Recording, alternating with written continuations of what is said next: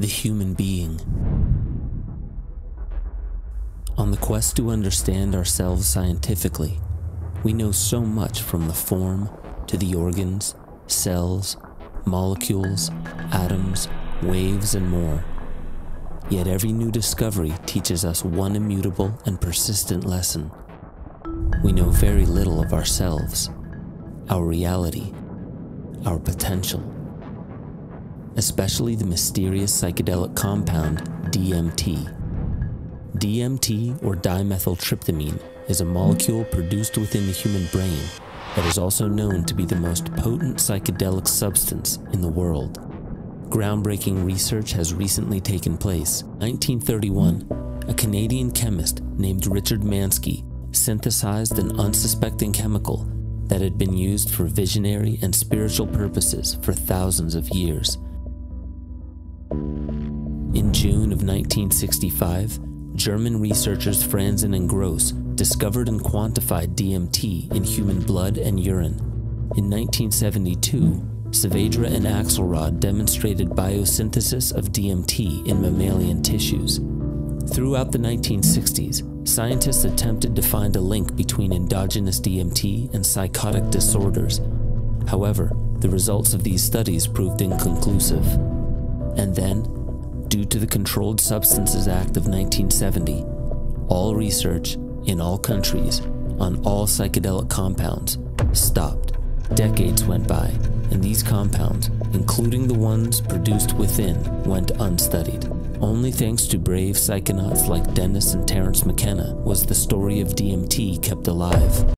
This is the story of DMT, or dimethyltryptamine, a simple compound found throughout nature which has profound effects on human consciousness even though it's the, the most powerful psychedelic drug known to man, it's in every single ecosystem all over the world. It exists in plants and grasses, and it's everywhere. I mean, it's really the craziest drug to be illegal everywhere because everyone's got it in their system. It's like you, everyone's holding. That was like Terence McKenna's holding. line. Yeah, and uh, it's uh, pretty intense stuff, man. If you do it, you will talk to intelligent beings from other dimensions for real. I mean, it sounds crazy. You would think that if there's something like that, that it would be on the front page.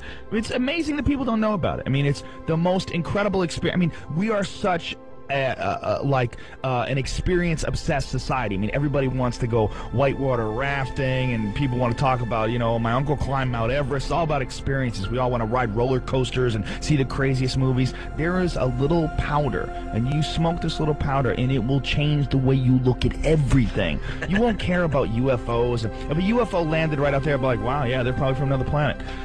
Whatever. It's not DMT. DMT is a hundred thousand times crazier than that. It's like mushrooms times a million plus aliens. That's what it's like. And literally, I mean, it sounds it's it's crazier than you could possibly imagine or describe. If you take DMT, you will communicate with something, and it's it's it's so beyond description that me talking about it is like trying to explain a kaleidoscope to a blind man. I mean, it just doesn't make sense. Like, there's no way you could explain it. I mean, yeah. it's just, it's so beyond anything you can explain. But something communicates with you when you, when you do this stuff. And my words do it no justice. DMT and 5-methoxy DMT, they're not just about the visual experience. There's a huge emotional experience to it, and you know, they, they induce ecstasy. At the turn of the 1990s, Dr. Rick Strassman at the University of New Mexico broke through that strict prohibition with the first human DMT studies as he injected nearly 400 doses into roughly five dozen volunteers. The design of the study was fairly straightforward give people DMT and measure as many variables as possible. Um, in the, in the case of this study, which was going to be the first new psychedelic research in the U.S. really for over 20 years, uh, I, I, had to sort of anticipate a lot of objections that would come my way uh, from the regulatory agencies that oversee this kind of research. In the year 2000, Dr. Strassman published his findings in the book DMT, the Spirit Molecule. This book brought the topic of DMT to a mainstream audience outside of strict scientific circles Dr. Strassman named DMT the spirit molecule based on the consistent reports of realer than real spiritual experiences from high dose administration. I started off seeing shapes and then there were cats and then I felt like I fell out of space and ended up at the Last Supper in heaven or something. I don't consider myself spiritual, and I'm going, why? Why would my brain take me there? I was going through some emotional turmoil and I didn't feel safe or welcome or like I had friends, and it just felt at the end like it was okay and I was loved. A decade later, in 2010, the book became a documentary hosted by comedian and podcaster Joe Rogan, catapulting the discussion of DMT and ayahuasca onto an even bigger global stage, reaching tens of millions of viewers craziest thing about DMT because DMT is literally like having a meeting with God. It's like having a meeting with divine, unbelievably wise, incredibly loving energy, like whatever it is, the source of everything. And it leaves you so humbled that after that after it's over, you have a it's like literally like you're still you, you still look like you, you still wear the same clothes you are, but you're not really you anymore. I mean, you literally have been changed. You know, you have experienced something that very few humans experience and the thought to me that people can go through through their entire lives and not know about this is an incredible waste of time. It's like your life could be so much more positive and so much more interesting and fascinating, and you you would be so much more humble and aware of what you you really are and where you really stand if you just have this experience. It's just like a it's like a tree root. It's got DMT in it. So for someone like me, the ayahuasca experience is essential. I need to be beaten down occasionally. Did a really eye-opening experience of ayahuasca. It was really intense. And when it came to the ceremony itself, Megan said the experience lasted three nights and was, quote, incredibly intense. Everybody's journey is different. The second night, I went to, to hell for eternity. Um, yeah. And to just knowing eternity is um, like torture in itself because there was no beginning, middle, or end. So you have like a real ego death. And Megan says the ayahuasca was able to help her in ways that therapy and hypnotherapy couldn't before. It just goes straight into your soul and it takes you to the psychological prison that you hold yourself in. So it's, it's your own version of hell. And I was definitely there. Megan Fox gets candid about drinking ayahuasca with Machine Gun Kelly in Costa Rica. It's hard to top that one, man. The Till Death actress appeared on Monday's Jimmy Kimmel Live with guest host Arsenio Hall and opened up about her quasi spiritual journey in the Central American wilderness with her boyfriend after drinking the psychoactive tea used in ceremonial rituals as a spiritual medicine, which BTW induces auditory and visual hallucinations. Do you guys know what ayahuasca is? Oh, yes! so we went to we went to Costa Rica to do ayahuasca like in a proper setting, like with indigenous people, and I was thinking it was like glamping or something like that, still going to be like a some kind of five star experience. And you get there and you really are in the middle of the jungle and you don't get to eat after like 1 p.m. You have to walk a very far distance to get your water. You can't shower because they're in a drought. Nothing glamorous about it. It's all a part of sort of making you vulnerable so that you surrender to the experience. You smoke it. Once I tried it, boom. Everything is went so fast. When I fell out, the only thing I was conscious, but I was out. My brain was still functioning, my thoughts, I could still talk to myself, I could hear my mind, and I was saying, I fucked up. And I killed myself. Because you killed the yeah. I'm dying.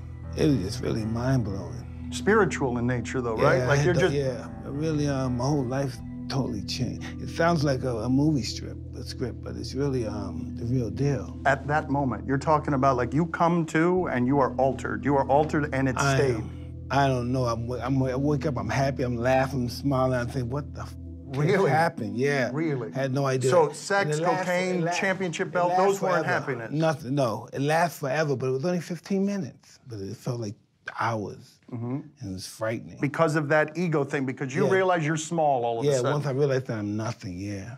I realized all my fancy clothes, my big clothes. Can you explain to me why it makes you emotional just talking about it? Because I imagine the, the reason it makes you emotional is because for four decades you've been trying to find happy, man. You know, when you think you know everything, and then you realize you don't know anything. Mm-hmm. That's a big awakening. You can call it growth or you can call it divine intervention.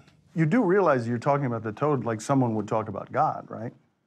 Well, I don't know. I'm not going to say it's God. I'm not going to put nothing in the um, the same breath as God. Crazy thing is, you can get alcohol everywhere. You go to Duane Reade and buy a, bu- a jug of wine and Sure. get effed up. You Yeah. know, I mean, we have we have drugs that are available. I mean, how many times you talk to a girl? Oh, I don't do drugs. Meanwhile, she's hammered, smoking a cigarette. you know, I mean, everybody there's there's drugs, caffeine. I mean, I'm drinking a coffee right now. It's just it's sanctioned. It's a sanctioned drug because it's it's great for capitalism. It keeps you going, it keeps you working. But there's uh, you know there's there's drugs out there that are actually good for you. There's drugs out there that are actually good for your mind.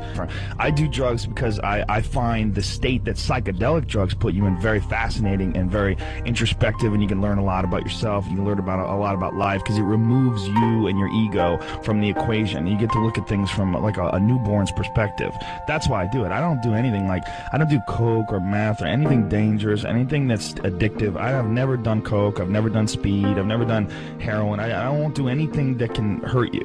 But psychedelic drugs, those are they're, they're very different. With this this big blanket that we put on everything, we call everything drugs. That's a, a broad term that encompasses everything from like Nyquil to DMT. You know, I mean, they're all drugs. I mean, they all they all affect your consciousness. It's like how do they affect your consciousness though? I'm not interested in anything that messes me up. I don't think I'm not interested in anything that gives me brain damage or anything that makes me you know addicted to it. I just I'm only interested in things that that can alter my state of consciousness for the the better. It's very very intense. But it's not dangerous. It's a human neurotransmitter. It's actually one of the most transient drugs ever exhibited in the body because your body brings it down to baseline really quickly. Your body brings it down to baseline in like 10 to 15 minutes. It's really crazy. What's that mean, down to baseline? It means like say if you have it, you're high, you go to that dimension, whoa, it blows out, and then. Whoa, 15 minutes later, you're back normal. And the crazy thing is, it's just like dreams. You know, you wake up and you're like, I had the craziest dream. It was me and my buddy Mike, and we were we were kids, but we had a sled, and my mom was there. And then five minutes later, you're like, what the hell was my dream? Yeah, yeah. That's exactly what a DMT trip was like. It's like gold dust slipping cool. through your fingers. if you go deep enough into the psyche, what you it becomes increasingly difficult to separate what you discover from reality. Now, it's not people can clearly have individual subjective religious experiences. Most scientific phenomena are objective. Many people have to experience the phenomena at the same time. You have these religious experiences that can be induced by hallucinogens, let's say. Each person has their own particular experience, but everyone has an experience that's similar. And we don't know what to do about that category of experience. And then, you know, we think in stories and we see the world through a structure of value. I think that's, I think that that has been proven beyond a doubt by neuroscientists and psychologists. And the fact that we see the world through a prism of value seems to indicate that there's something about value that's real. And so that's partly why things are deeply mysterious. I mean, Rick Strassman, he terrified himself right out of the DMT research, as far as I could tell, because all his subjects came back and said, Well, you know, I went somewhere else and saw aliens. It's like, well, it was a dream. No, sorry, wasn't a dream, was way more real than any dream. In fact, it was actually more real than life.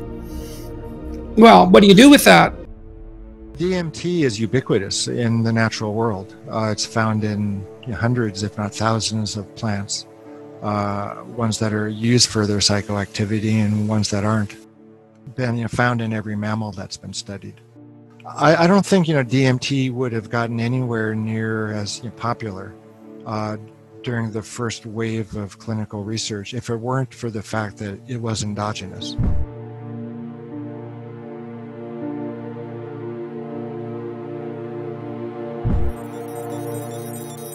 As the public continued to show their interest in DMT with increasing internet searches, DMT began to hit the mainstream music scene. In and dimethyltryptamine, and I surge a gas without dynamite. The vibes are effervescent, delicious, just how they should be.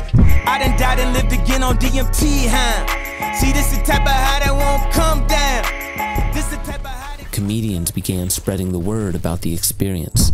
DMT is like, hey, you know all of this reality and perception that you are super familiar with and very convinced is real? Well, sorry about this. Zip. Everyone all of a sudden wanted to know what in the world is DMT? And And why do we produce this otherworldly compound in our brains? Give people DMT, and they all came back with the same story. I was blasted out of my consciousness. What exactly does an LSD or DMT breakthrough feel like? Even the lesser understood compound 5-MeO DMT began hitting popular internet shows touting its mystical experience of oneness with creation. My experience with 5-MeO is a connection to all that is. I felt the direct connection to spirit, to soul, to my own soul. Lesser known still is the fact that this compound too is found within humans. Just as the popularity of the DMT discussion seemed to be reaching its peak, it happened. Former heavyweight champion Mike Tyson decided to take the 5-MeO DMT plunge.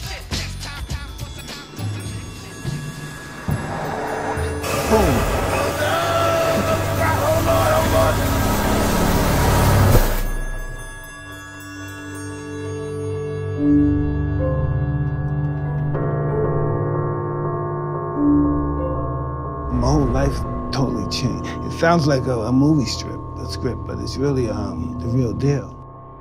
Following his 5-MeO DMT experience, Tyson would discuss his transformation from an ego-driven ex-fighter into a spiritually transformed individual. How did this happen to me? I'm not I'm not leading my ship. I'm not driving this fucking car. Not me. After Tyson made his 5-MeO DMT use public in 2019, the interest in DMT reached an all-time high. There is an overwhelming amount of evidence that those two kinds of consciousness exist. One being your consciousness of you as a localized and specified being, and the other being this capacity to experience oceanic dissolution and the sense of the cosmos being one. Now, why we have those capacities for different conscious experiences is very difficult to understand. I mean, part of me thinks that maybe we have a generic human brain that's the brain of the species. And allied with that, we have a specific individual brain and one is the left hemisphere and the other is the right hemisphere. The left hemisphere being the specific individual brain. And usually it's on and working because you obviously have to take care of yourself as a specific entity and not as a generalized cosmic phenomena. It's hard to dice celery when you're a generalized cosmic phenomena. Right? So you have to be more pointed than that. But, but look, let, let's make no mistake about it. The fact that those different states of consciousness exist is not disputable. They can be elicited in all sorts of ways. And so I'm going to read you something that Aldous Huxley wrote about this back, I think, in 1956. This was after he started his experimentation with mescaline. Because the psychedelics were introduced into Western culture in the 1950s in a whole bunch of different ways. Psilocybin mushrooms, LSD, that was discovered right at the end of World War II. It was discovered by accident, actually, laboratory, Sandoz Labs. The guy who discovered it, Albert Hofmann, had spilled some on his hands. You can absorb it through your skin. And he was biking home and had the world's first LSD trip, which was somewhat of a shock to him and then to the entire world. Huxley, who was a great literary figure, a, a real genius, um, experimented with mescaline in the late 50s. And uh, he wrote a book called The Doors of Perception, which had a huge impact on the emerging psychedelic culture, both on the East Coast at, at Harvard and on the West Coast with Ken Kesey and his Merry Pranksters, the people who popularized LSD. That's all documented in a book called The Electric Kool-Aid Acid Test, which I would highly recommend. It's Tom Wolfe. It's a brilliant book. Um, on the East Coast, it was Timothy Leary. I had Timothy Leary's old job at Harvard. So that was kind of cool, in a warped way. So I met as well. Huxley was very interested in why you would even have the capacity for experiences like that, and which I think is a very good question, and it's a completely unanswered question. I mean, we don't know much about consciousness, and we know even less about psychedelics, I would say. They are an absolute mystery.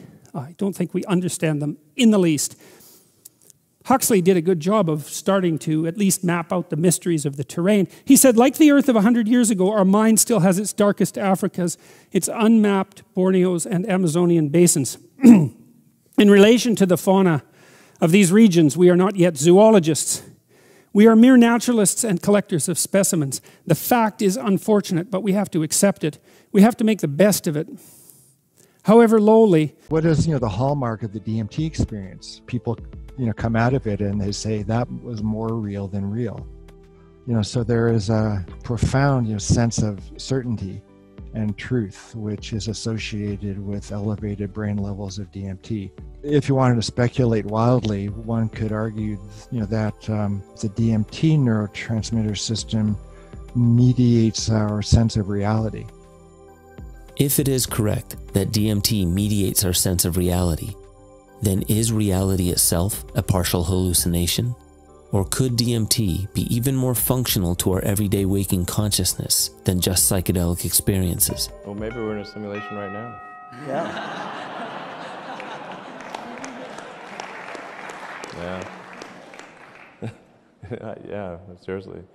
Uh, in my mind, like the, the, the strongest argument for the, for us being in a simulation, probably being in a simulation, I think is the following. Um, that, that 40, 40, 40 years ago, we had Pong, like two rectangles and a dot. That Right. was what games were. Um, now, 40 years later, we have photorealistic 3D simulations with millions of people playing simultaneously, and it's getting better every year.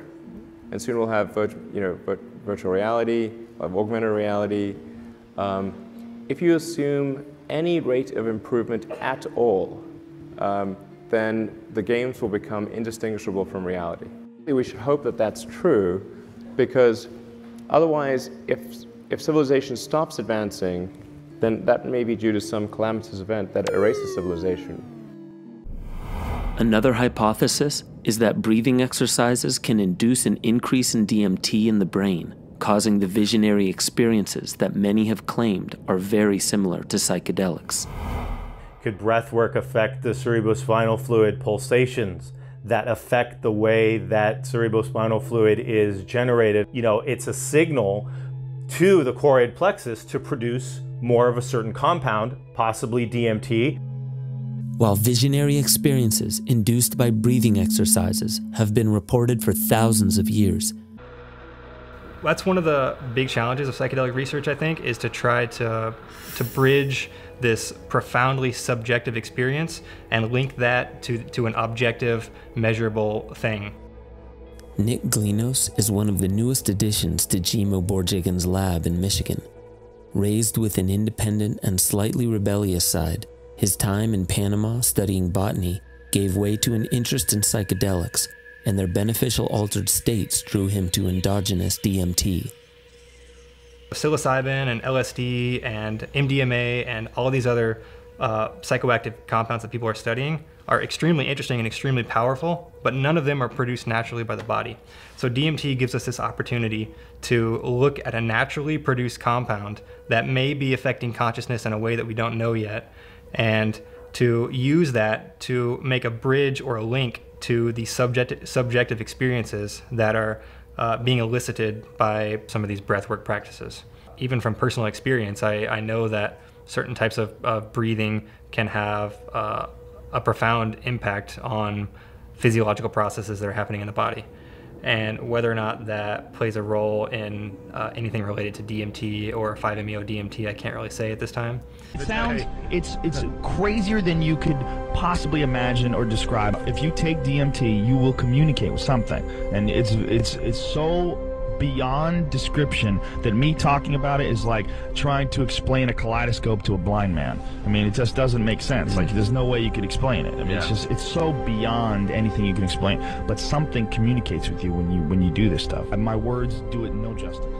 Craziest thing about DMT because DMT is literally like having a meeting with God. It's like having a meeting with divine, unbelievably wise, incredibly loving energy, like whatever it is, the source of everything. And it leaves you so humbled that after that after it's over, you have a. It's like literally like you're still you. You still look like you. You still wear the same clothes you are, but you're not really you anymore. I mean, you literally have been changed. You know, you have experienced something that very few humans experience, and the thought to me that people can go through their entire lives and not know about this is an incredible waste of time. It's like your life could be so much more positive and so much more interesting and fascinating, and you you would be so much more humble and aware of what you you really are and where you really stand if you just have this experience. Do you think it's interesting that it was in the visual cortex, for instance? Because there are so many reports of people who undergo uh, near death experiences who see uh, extreme bright lights or who even have very visual representations of a life review, for instance. Where is that visual interpretation coming from? Those results never got published, yet nobody's really funding the, the, the, the work for it. We're basically trying to understand the mechanism of action of how psychedelics can bring about these increases in mental health, these treatments for, uh, for a variety of different ailments. If we're able to show, for example, that DMT is massively increased, uh, endogenous DMT is massively increased after a, a administration of LSD or psilocybin, then I think that has massive implications for the future of all psychedelic research moving forward. The importance of funding endogenous DMT studies is that it may provide a basis for all psychedelic research, into which millions of dollars are funneled. But it could also give us a better understanding of what modulates everyday waking reality, of the neurochemistry of altered and mystical states. What if DMT was the missing link between all religions? What if the foundation of all spiritual experiences might have a basis in biology? Could this help bring humanity together? If drugs out there that are actually good for you, there's drugs out there that are actually good for your mind. I do drugs because I, I find the state that psychedelic drugs put you in very fascinating and very introspective, and you can learn a lot about yourself. And you can learn about a lot about life because it removes you and your ego from the equation. You get to look at things from like a, a newborn's perspective.